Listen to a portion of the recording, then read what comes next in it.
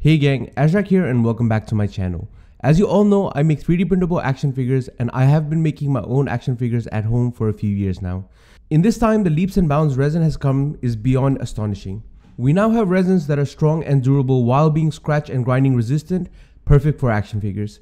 And I have been constantly showcasing resins that work with different action figure use cases, breaking down what works, what doesn't work, and why. So in this exciting episode, I bring you an alternate resin that I've been provided to try for my action figures.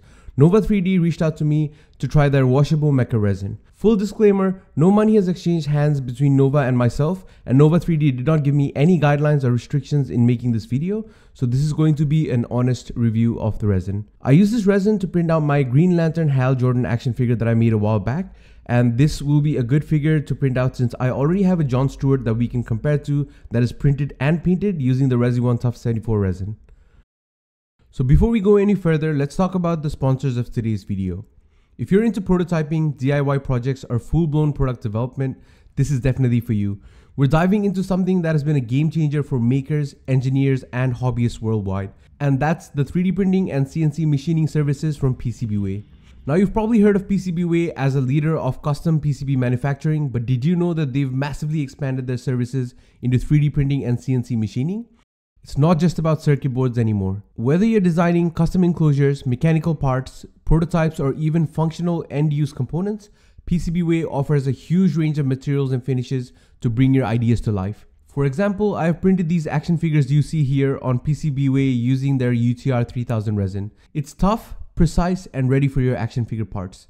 You can also find links to the action figure base body I made available exclusively on PCBWay in my description below. The process is super simple. Upload your CAD files, choose your material, your surface finish, and get an instant quote. No need for endless emails or waiting around. With 3D printing, you've got options like SLA for high detailed resin prints, SLS for tough nylon parts, and FDM for affordable prototyping.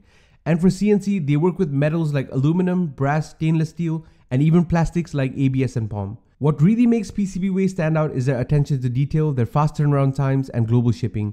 No matter where you are, you can get professional grade parts delivered right to your doorstep. I've personally used PCBWay for several projects and every time the quality has been top notch. From prototypes to production runs, they've got you covered. So if you're ready to take your projects to the next level, hit the link in the description below and check PCBWay out.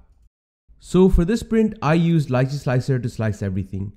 Lychee has been my favorite slicer for a really long time for their amazing UI and intuitive controls. I really like how their system allows for a community-based printer and resin settings, so you can use whatever settings have worked for other members in the community. And best of all, the top reason I love this slicer is because of its auto support functionality. It has an amazing auto support functionality that gives you a great foundation to set up your prints and reduce failures. And to top it all off, you can even compare your prints to a banana for scale. Lychee has been my go-to slicer for the past three years, so if you want to experience Lychee and its incredible features, please check out the link in my description below. It is an affiliate link, so every time you click, you also support the channel. So as always, I use my Uniformation GK2 for the print. The resin poured in smoothly and the consistency of the resin is not too thick or gloopy which really helps the resin's ability to flow back under the print bed.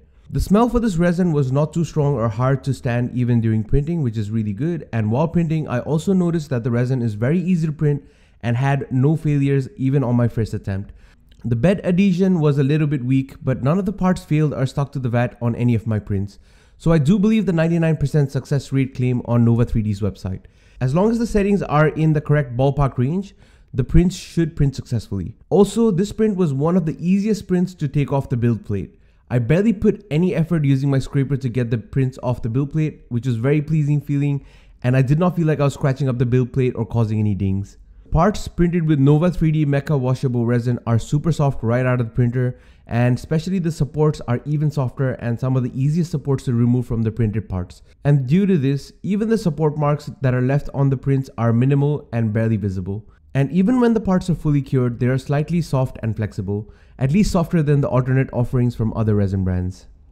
So once fully cured, the parts are really light in color which should really help the painting process and also help identify any imperfections on the print. However, based on my observations, there were no real issues with imperfections on the prints. So despite this being my first time printing with this material, I still got most of the exposure settings pretty spot on for my use case. So in summary, it was a really easy resin to work with and to get my print settings right. I cleaned this resin in IPA instead of water since I wanted to test the qualities of this resin for action figures rather than the water washability. However, the resin being washable with water definitely helps people who do not want harmful chemicals like IPA in their household. The resin fully cures in 90 seconds as suggested by Nova 3D's website. However, I wanted to cure it for a bit longer so I cured the parts for about 5 minutes for peace of mind since Resione's resins that I am used to can take up to 30 minutes post curing to fully cure.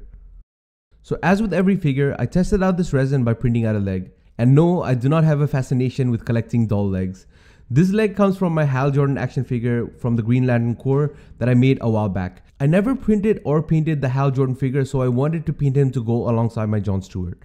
So I found that there's a slight bit of scratchiness with this resin and although there's no grinding or dusting, the scratchiness is still visible. When assembling, I found that the resin was slightly flexible even when not heated and it was very flexible when heated with a hairdryer even for a few seconds, so the flexibility made the figure really easy to assemble. There were some minor scratches on the resin when rubbed against other resin parts, but no major dusting occurred.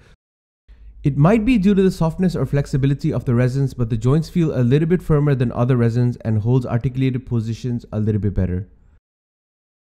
So here we have all of our parts laid out in the light box. Just taking a closer look at the head, my wife has done an amazing job again and I really like the hair color on this one and it makes the head really pop. For the assembly, we start off with the arms. First we pop the shoulder joint onto the shoulder, then we put the shoulder onto the bicep, and the elbow joint can then be placed onto the bicep followed by the forearm slotting into the elbow. The wrists are super simple but make sure that the longer peg goes into the forearm while the shorter peg can be pushed onto the hands. The whole arm can then be connected to the shoulder butterfly joint to complete one arm. We repeat the same process on the other arm to complete both arms. Now we move on to the assembly of the legs. This is a very simple part to assemble. We push the knees onto the thighs and then the calves onto the knees. The ankles can then be pushed into the calves. Toe joint can be flexed onto the heels and then the whole foot can be fit onto the ankles. Now repeating the same steps, we can complete the other leg. Now we move on to the torso pieces. We start off with the crotch part pressing onto the abdomen followed by the chest dumbbell joint onto the top half of the abdomen. Then we fit the whole assembly onto the chest piece and once that is done, we can move on to fitting the arms into the chest and once both arms are in, we can secure the body with the back piece and also pop the neck in. Penultimately, we can fit the legs onto the rest of the body. We do this one leg at a time, heating up the joints and popping them onto the ball joints. Finally, we can heat up the head and place it onto the body, completing the assembly of our action figure. So here we have the action figure fully assembled and a close-up look at the action figure and I think my wife has done a really good job with the paints once again. We can see the contrast between the painted figure and the unpainted figure in the shot. So I did the unpainted version of this figure to make some assembly reels on Instagram so please check them out to get a step-by-step -step guide on how I assemble these figures. So actually you will get to see someone other than me assemble these figures and get my wife's perspective on how easy or difficult it is to assemble one of these figures. Now back to our figure, I really like the paints on the hair, the mask, the logo, and especially the clean whites on the gloves. She has added a little bit of silver to the white gloves to give it a little bit more shine. Although there is a slight bit of color mismatch on the chest versus other parts, I think it's because of the overspray of the uh, silver. The figure overall looks pretty darn good. I'm really glad to inform you that the resin takes paints really well and I did not have any issues with painting the figure even without the use of primers. Alright, so this is where it gets interesting. For articulation, the knees and elbows on this figure does everything you would expect from it with the same range of motion as the John Stewart figure I printed with other resins. The joints are a bit stiffer with this resin and has a good level of hold on each position when articulating with the joints. For the ball joints like the torso, neck, shoulder, hips joints, I was a little bit more worried when articulating the joints due to the softness of this resin in fear that the pegs might break. While trying to pose my unpainted figure for some posed shots for this video, I actually managed to break the left hip on this figure. This is the same joint I used with the rest of my figures as well, so it looks like this resin does not deal well with torque. There are a few pros and cons about printing action figures with this resin. The pros are that the joints hold position better and are a little bit tighter in general using this resin. The con is that the wrist and the ankles are really hard to pivot and I have a fear that I might break it when I try to twist too hard and all the joints seem to work really well but the pegs on the ball joint seem to be a little bit of a problem. Adding some silicone shock oil or lowering the exposure might help the ball and peg joints a little bit but I've not tested this theory yet so if I ever decide to do this test I'll make a follow-up video. For some final thoughts, I think that this resin is great for printing flexible parts on an action figure. The resin will work really well with parts like the biceps, forearms, thighs, calves, knees, and elbows. Parts like the head may also be a great contender for this resin since it has some inherent softness. However, if you are wanting to use it for joints that need twisting motions, it might not be the best resin to use. If you are wanting to avoid strong chemicals like IPA in your household, this resin being water washable is another huge plus. And another plus is the curing time on this resin coming in at only 90 seconds. For some of my other resins, I have waited for parts to cure in the curing chamber for about 30 minutes, so the 90 seconds spent here almost seemed too short. Coming in at 32.99 USD at the time of recording with a 46% discount applied, it might be a good time to buy this resin that normally goes for $60.99 USD retail for a liter of resin. I've had a lot of questions from all of you guys on YouTube, Instagram, and TikTok on what alternate resins are available since some of the brands may not be easily accessible in your location. This resin I think is a great alternative to print out mechanical parts such as action figures. I would only recommend caution with joints that require twisting, but overall the print quality, ease of printing, and success rates are really the highlight of this resin. Granted, I have not tested this resin's stability and performance over a long duration. As it is currently, this resin has some great qualities for mechanical prints while having some drawbacks that should not be ignored. So with all of that being said, this resin will get you to a point where the action figure can be fully assembled, but the articulation will be a big problem for most users. This resin is too sticky and soft, which although is very helpful for the knees and elbows to be articulating a little bit tighter, it causes a lot of problems with hips and other ball joints. So if you are not able to find alternate resins in your location or you are printing a less complex action figure, this resin can still be considered for action figure prints. However, if you want to play with your figures and pose them heavily, this is not the resin for you. So there you have it, another resin review. I hope you enjoyed this video and it was educational along with being entertaining. I will be back again soon with another action figure build.